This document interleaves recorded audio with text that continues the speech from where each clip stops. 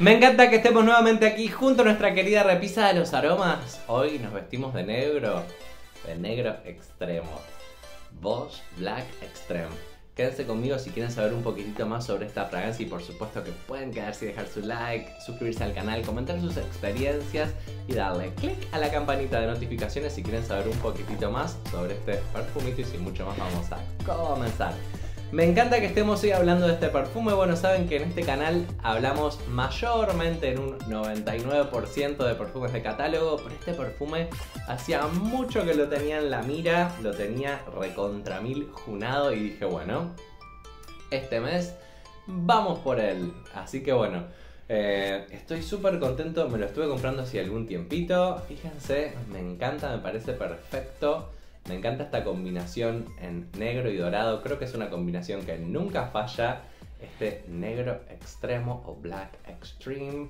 Fíjense esta textura, así como tipo um, cuero de reptil. Por atrás nada, lo cual me encanta, así que es súper prolijo. Y les debo decir que es una presentación que tiene mucha calidad. Fíjense qué bueno que está por dentro y además de que trae el protector, trae súper bien adentro acomodado la fragancia que el frasco, el frasco, no la fragancia, el frasco es inspiración de esos típicos bolsitos de la compañía Marc Jacobs, específicamente de la línea Decadence. Bueno, esta compañía Boss, esta compañía nacional aquí de Argentina, tiene varios de estos bolsitos en eh, diferentes colores acá arriba y inspira diferentes fragancias. Este en particular se siente de mucha calidad, es pesado el vidrio, tiene el producto tiene peso, la tapa, fíjense que, que la tapa traba súper bien, o sea, no se cae, traba de verdad. Fíjense qué lindo la calidad del tapón y los frasquitos son iguales, iguales, iguales a eh, esa formita que tienen los Decadence de Marc Jacobs. Esa es una fragancia que em, la van a poder encontrar fácilmente en la mayoría de las perfumerías aquí en Argentina. Y es una fragancia chipre frutal dulce, dulcísima, que me parece súper sexy y súper elegante. Me encanta esta fragancia, hacía mucho que la tenía, em, que la tenía por decir eh, como en el radar. Y digo, bueno, como últimamente los perfumes están bastante eh, costosos, dije, tenemos que ponernos muy juiciosos, muy juiciositos en la hora de ver cómo organizamos nuestros presupuestos para comprar perfumes. Así que bueno, este lo tenía ya hace algún tiempo eh, como en la mira, pero dije, bueno, ya que no tenía pedido gran cosa en catálogo, dije, bueno, este va a ser el mes en el que voy a ir por esta eh, bella fragancia. Bueno, y les quiero contar que eh, el perfume Boss Black Extreme, este trae 100 mililitros, así que es un montón de producto. Bueno, y la verdad es que por supuesto que eh, yo soy parte, además de tener mi canal, estoy en varios grupos de WhatsApp de perfumería, sigo muchos canales.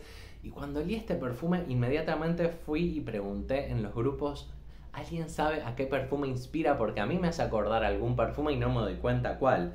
Y enseguida, pero enseguida, enseguida, eh, me respondieron que este perfume es como una inspiración del perfume Mon Paris de Yves Saint Laurent, es decir, de YSL. Eh, vamos a ver qué nos dice, eh, cuál es la info que encontré. Dice, despertar diferentes sensaciones en cada momento. Vibrante combinación de toques frutales y flores blancas. O sea, quédense con eso, son frutas y flores blancas dejando lugar a una base provocativa de almizcle blanco y vainilla. Creo que verdaderamente esa es la descripción perfecta. Frutas muy dulces, flores blancas pero en su punto justo, es decir, no son esos perfumes que ya lo floral blanco se hace atalcado y aseñorado y como que te agobia, no, está como, es como mucho más tirado, tirando para el lado frutal. Y sí, por supuesto que la base del almizcle y la vainilla es un perfume que donde sale a jugar creo que bastante fuerte el dulzor. Pertenece a la familia olfativa Chipre frutal. Es frutal, frutal, elegante, sexy. Fíjense. Salida, escuchen las notas porque les pueden llegar a encantar si les gustan los perfumes que están ahora en la tendencia. Fresa, frambuesa, pera. Es decir, Fresa y frambuesa vendríamos a decir unos frutos rojos combinados a la pera, que son, o sea, frutos rojos y pera son dos notas que son súper dulces eh, y que a mí me encantan. Más bergamota de Calabria, más naranja, más naranja tangerina, eh, como unas frutas algo cítricas, si bien el perfume más bien tira a lo dulce y no a lo cítrico. Y nota de calón, que es, es esa nota que le da como esa cierta estuve buscando como esa cierta cosa marina, más allá de que no creo que este perfume tenga nada marino, solo que me parece que es una nota que debe como cortar un poco con tanta dulzura. Bueno, tengo que ponerme a investigar más sobre esa nota. Corazón, datura, peonía, flor de azar del naranjo, jazmín sambac y jazmín chino, es decir, muchas flores blancas, pues el azar, pues el jazmín sambac, pues el jazmín chino, y la peonía que si bien eh, no es una flor blanca, pero tiene esos aires así como dulce. Creo que le aporta ese dulzor, como que también corta un poquitito, como que siempre suaviza, ¿no es cierto? La peonía con ese aroma tan em, delicado que suele tener.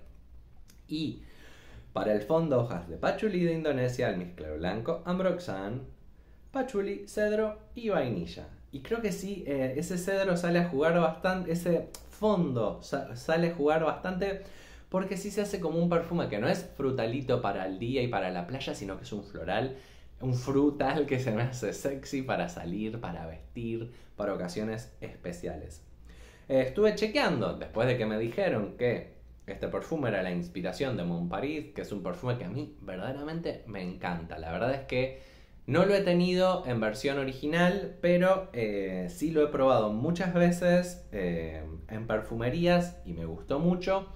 Había tenido una inspiración que se las mostré en mi último Perfumes Terminados que no me había terminado de convencer para nada.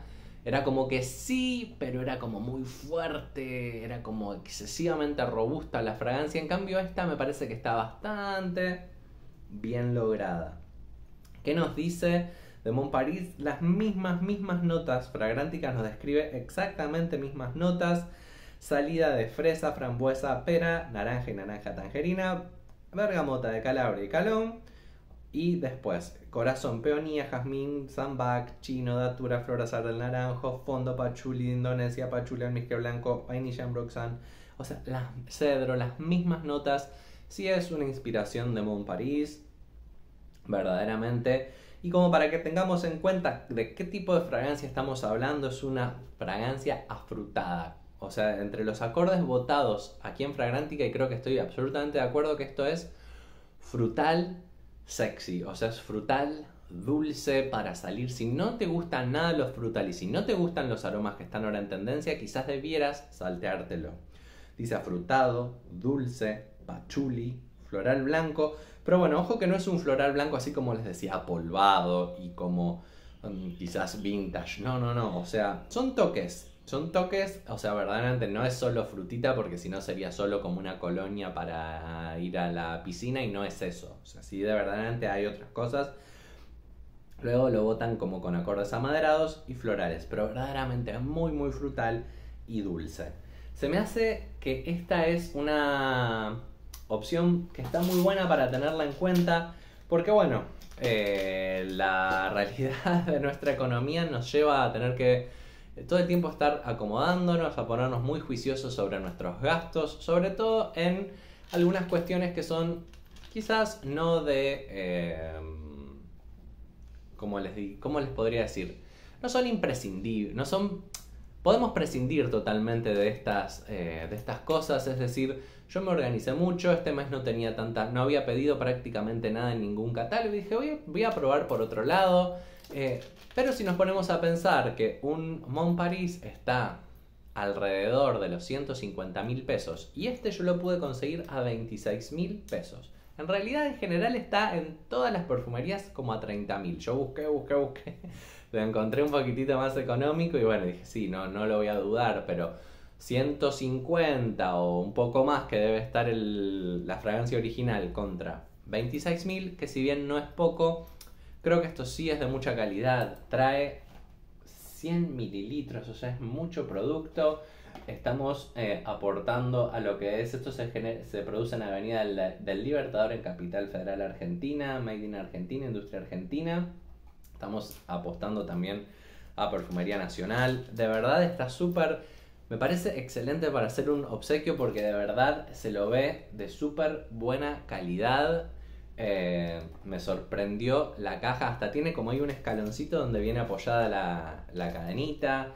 Em, no se ve como que sea un frasco genérico, así como que con defectos. Por el contrario, por donde lo miren, se lo ve súper, súper de calidad. Me encanta, traba súper bien el tapón. Como que se siente pesado el vidrio. No, la verdad es que me encanta la calidad de este producto. Bueno, y estuve, les hago así como un último así chismecito. Eh, vienen varias fragancias de distintos colorcitos los bolsitos. Hay una blanca, creo que otra rosa, bueno, y hay otras más de esta compañía. Hay una masculina que también me encantó y seguro me la voy a estar comprando próximamente, que creo que es la inspiración del Black Excess, la Aphrodisiac, que es una fragancia que me encanta. Me gusta, pero no para comprarme la original, no tanto como para comprarme la original y encontré en esta compañía una muy buena inspiración, después le voy a hablar de eso. Pero bueno, sí, en cuestión estuve como oliendo, probé, atomicé varios de estos bolsitos, varios de esta compañía también, de los tubitos que son unos tubitos también blancos, negros y demás, dorado. Y bueno, después cuando los traje a casa los olí con más detenimiento y vi que algunos eran dupes de... Em, ay, ¿cuáles había descubierto que había como similitud? Em, como si fuera algún Black Opium, había uno, otro se me hizo como algo tipo el Interdit.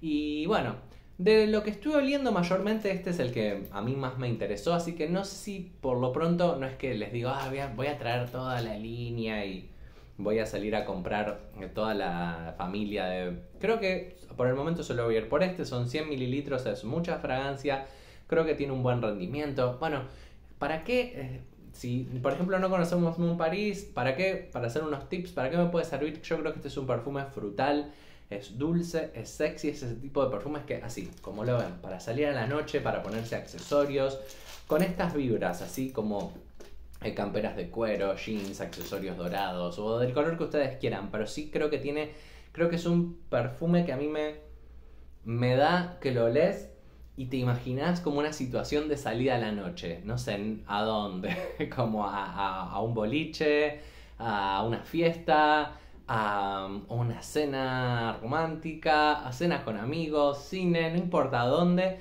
Pero bueno, se me hace que también es un perfume que creo que, se, que puede llegar a ser bastante versátil con el frío. Creo que, o sea, si bien es frutal, al tener ese dulzor y ese fondo con cedro, creo que va a amalgamar muy bien. Habría que probarlo en calor, cómo se comporta.